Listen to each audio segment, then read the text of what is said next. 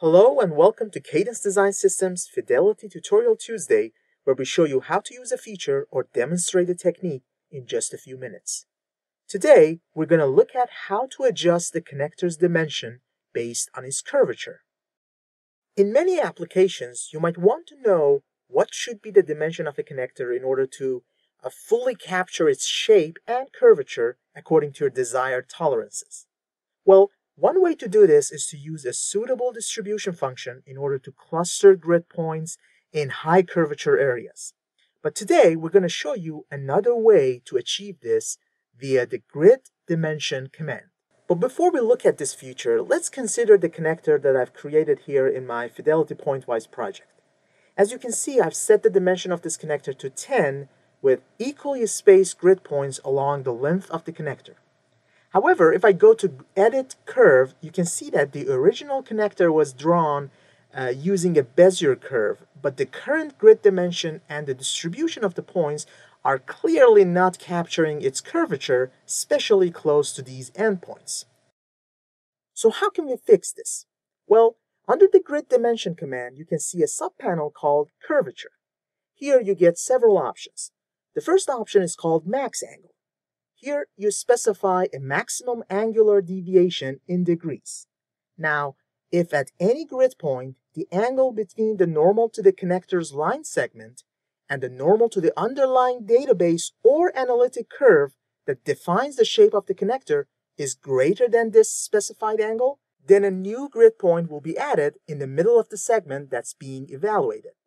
The second option is called max deviation, where Instead of a normal angle, the maximum chordal deviation based on the physical units of the grid would determine whether a new grid point is to be added or not. Finally, if you check the Use Database Curvature option, then the curvature of the underlying database entity will also be taken into account. Otherwise, only the curvature of the underlying analytic curve will be considered.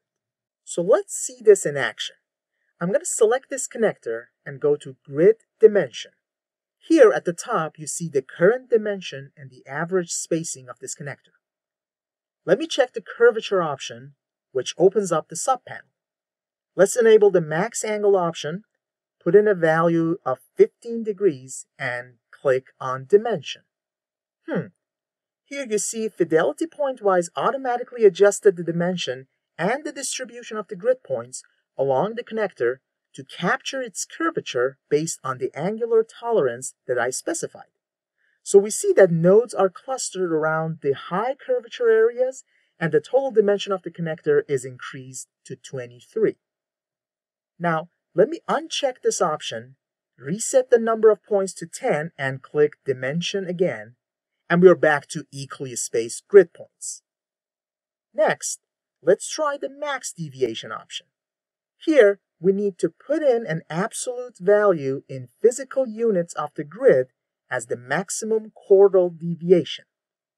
So for this connector, let me choose a value of 0.005.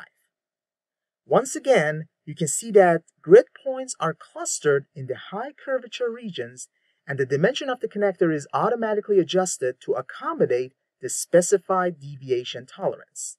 Thank you for watching. If you like this video, be sure to click the thumbs up button to subscribe to our channel for more videos like this. If you have any questions or suggestions for future videos, please drop us a line down below or connect with us on LinkedIn, which is linked in the description. Thank you all and have a pleasant Tuesday.